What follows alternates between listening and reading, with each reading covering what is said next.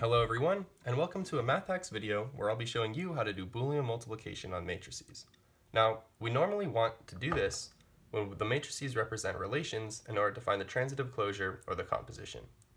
I'll get into that in a future video, but for now I'll show you just how to do the multiplication itself. For a confusing topic, the process is actually fairly simple. We can write down the answer directly if we go through the algorithm correctly and use some thought. So in order to build the first row, first column of the answer matrix, we take a look at the first row and first column of the two given matrices just as we would for a regular multiplication.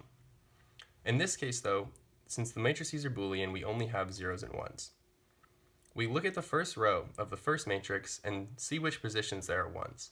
If there's a 1 in the corresponding position in any of the uh, in any of the positions on the corresponding second matrix, then we'll write a 1 here. Since our only 1 in the first row of the first matrix is in the second position, and we have a 0 in the corresponding position here, we write 0. For the first row, second column, we do, the we do a similar thing. We look at the first row and the second column.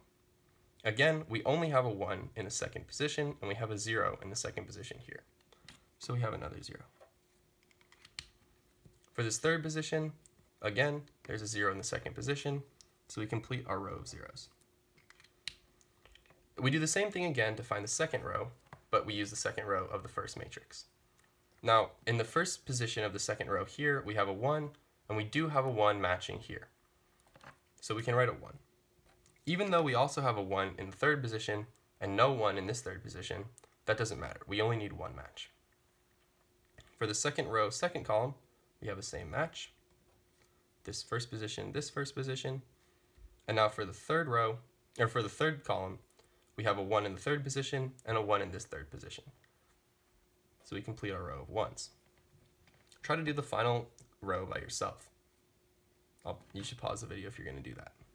So we have 0, 1, 1 as the third row here. So we have only 1s in the second and third position, and only zeros in the corresponding positions over here, which means that we're left with a 0. For the second position, we have a, we have a 1 and we have a 1 in the third position of the third row and the third position of the second column. That gives us a 1. For the final entry, the third row, third column, we note that we do have a 1 in the third position here, and we do have a 1 in the third position here. So again, that's the third row, third column, third position, third position. This completes the answer. Now, it can be it can be a bit confusing the first few times you do it, but I recommend retrying this example if you found it confusing, and after a while it'll become routine. Thanks a lot for watching, and that concludes our example. Leave a like if you enjoyed, subscribe if you want to, and feel free to leave a comment with, future, with suggestions for future topics, or any ways that I can improve. Have an integreat day.